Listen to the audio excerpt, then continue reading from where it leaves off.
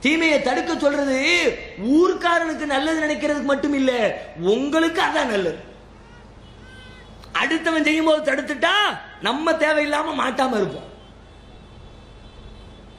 தெருவுக்குள்ள டாஸ்மாக் கடையை வைக்கும் போதே அடே கடையை எடுறான்னு சொல்லி சண்டை போட்டு ஆர்ப்பாட்டம் பண்ணி கடையை தூக்கிட்டா பிரச்சனை இல்லை. எவனோ குடிக்கிறான் நமக்கு என்ன வந்துச்சு? அப்படின்னு நடந்து கொண்டே இருந்தால் நாளைக்கு உங்க புள்ள போய் கடையில வாங்கி குடிச்சிட்டு உட்காந்துருப்பான் அப்பன் தலையில தலையில அடிப்பி ஐயோ அன்னைக்கே இந்த இவனை காலி பண்ணியிருக்கலாமே. அநியாயம் பண்ணிட்டேனே. என் பிள்ளை குடிகாரன் ஆயிட்டானே. சம்பாதிக்கிற காசை எல்லாம் கொண்டு டாஸ்மாகில் கொடுக்குறானே.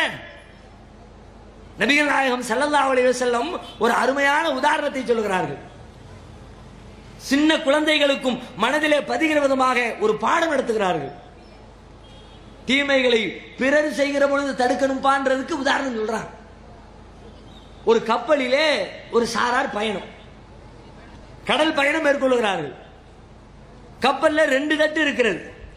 ஒரு தட்டு மேல ஒன்னு கீழே. மாடி வீடு கட்டுறோம்ல அது மாதிரி மேல கீழே. கீழே இருக்கிறவர்களுக்கு குடிப்பதற்கு தண்ணீர் தேவைப்பட்டா மேல போய் மேல போய் எடுத்துட்டு வரணும். அப்படியே எடுத்துட்டு வந்துகிட்டே இருக்கிறாங்க. ஒரு நாள் அவங்களுக்கு சலிப்பு வந்துருச்சு. கூட்டத்தில் ஒருத்தர் சொல்றாரு ஏன்பா பயன்படுத்துறதுக்கு தேவையான தண்ணியை தானே மேலே போய் மேலே போய் ஏன் எடுக்கணும்? நமக்கு தான் கப்பலுக்கு கீழே இவ்வளோ தண்ணி ஓடுத. கடலில் தானே போய்கிட்டு இருக்கோம். லேசாக ஒரு ஆணி எடுப்போம். கப்பலில் சின்னதாக ஒரு ஓட்டையை போடுவோம். தண்ணி பொத்துக்கிட்டு வரப்போகுது. தேவைப்படுற அளவுக்கு பயன்படுத்துவோம். இதுக்கு போய் சு- குடத்தை தூக்கிக்கிட்டு மேலே ஏறு கீழே இறங்கு மேலே ஏறு கீழே ஏன் கஷ்டப்பட்டுக்கிட்டு? அப்படின்னு பெரிய அறிவாளி ஒருத்தர் ஐடியா சொல்ல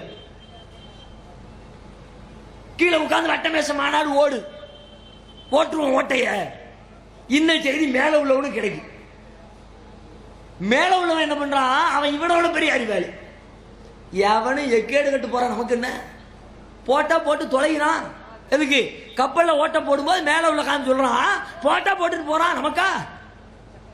என்று அவன் இருந்தால் அழிய போவது யார்? நபிகளார் கேட்கிறார்கள்?